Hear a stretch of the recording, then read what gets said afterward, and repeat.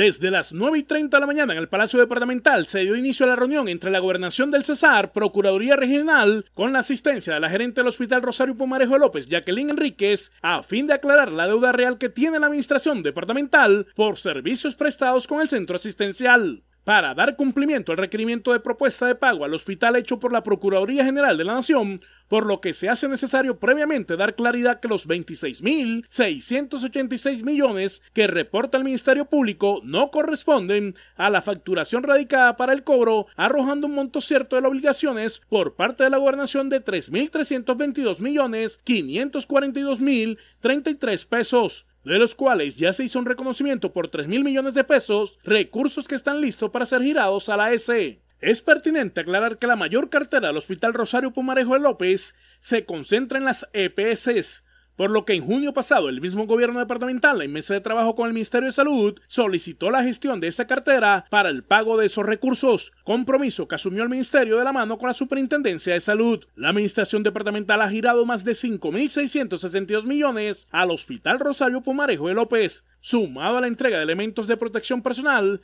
la firma de un convenio con la Fontour para hospedar en hoteles a quienes así lo requieran y resguardar a sus familias y las millonarias inversiones hechas en infraestructura como la instalación de 25 camas UCI para atención de COVID y la dotación a la unidad materno-infantil.